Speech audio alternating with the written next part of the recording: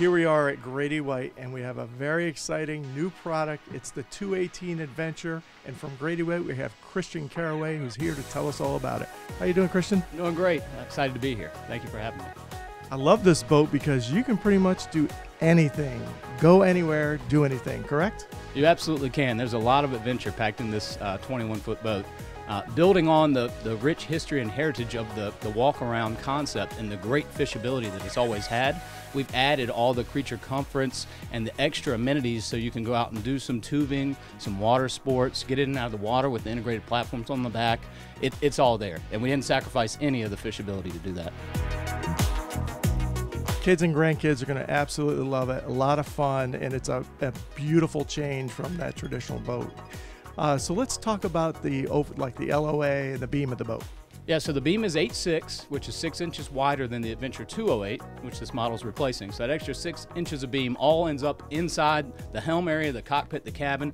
It all gets a little bit bigger, and boy, you really feel the space. But it also handles that much better because of the extra beam, which is nice. So let's talk about the engine and performance. Yeah, so we offer it with a single 200 Yamaha four-stroke outboard, and also you can upgrade to the 250 as well. Both are really, really good packages for the boat. So here we are looking at the transom, and it's so different from the older version of this boat. It's really family friendly and very kind of versatile. It can be forward facing, rear facing. So what we've got on the transom, we have the integrated platforms, which are really nice for getting on and off the boat from a floating dock, and of course getting in and out of the water is much easier. We've got the big wide four-step ladder that folds out the back. And as far as the seating, we've got very large, comfortable seats, but the versatility comes into how the seats operate. You can take the backrest and fold it 90 degrees, flip the cushion upside down, it stows right there in place, and then we've got some treads to ease with getting in and out of the cockpit through those platforms. So now let's get to the original DNA, fishing. We can do plenty of that, right? We got a lot going on. It's a Grady White. Fishing's going to be first. Uh, like I said, we've got those extra amenities and the creature comforts, but yes, this is still a fishing machine for sure. Uh, rod holders in the gunnel, rod storage beneath the gunnels, toe rails, cockpit bolsters, plenty of gunnel height. Uh, we've got an optional hardtop, which this boat has, with rod holders on the sides, extra rod holders option on the across the top. Yeah, the fishing features are definitely here. Uh, fish boxes, two 100 quart insulated coolers drain directly overboard, nothing needed but gravity, and one of them you can option up to a, a 25 gallon live well.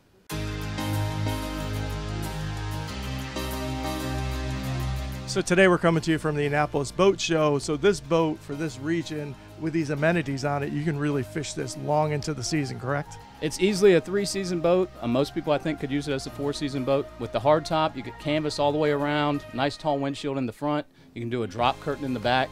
So, yeah, if it's a little bit chilly and you're trying to push that season a little longer, this is definitely the boat for you. So, here we are at the helm, and notice we're rear facing right now. A lot going on up here. We are. So, as I said, with the extra six inches of beam going into the helm, we're able to do a lot more things up here that we just couldn't fit into the 20 foot design. So, we've got nicer helm chairs. We're sitting in our Deluxe 2 chairs, very comfortable. You can opt up another level to what we call our Command Elite chairs. And then we've got a lot more room to be able to comfortably walk through the chairs. So, as you're going in and out of the helm, in and out of the cabin area, it's just that much more comfortable. So, what do we have at our fingertips when we spin these things around? Oh, well, of course, when you spin the chairs around, you've got the great view out the back. So if the kids are doing some water sports or swimming, you're under the shade of the hardtop, the protection of the of the canvas and the windshield, and you've got the utmost amount of comforts. And of course, if you're trolling, low-speed trolling, and somebody's on the wheel and somebody else is watching the baits, there's no better seat in the house than the seat right here. So let's talk about the wheel and controls. Well, the helm is ergonomically designed as you would expect from Grady White. So the wheel is right where you want it, the throttle's right where you want it.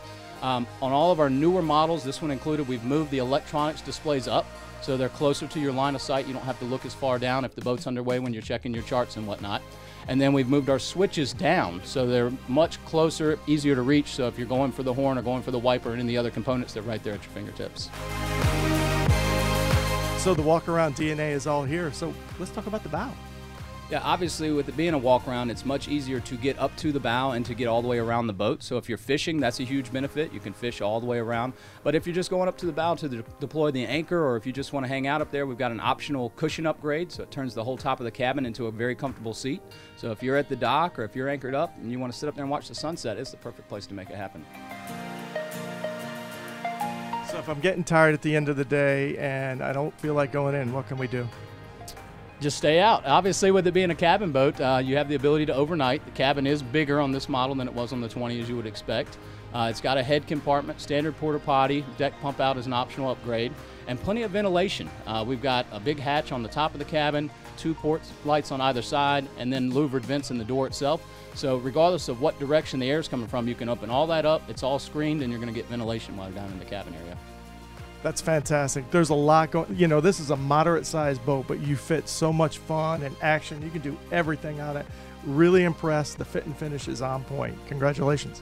Thank you very much. Yeah, you're absolutely right. I mean, everybody always tells us the Gradys feel and ride like much larger boats. So the 21 feels more like a 25 or a 27. The 27 feels more like a 30. The 30 more like a 35.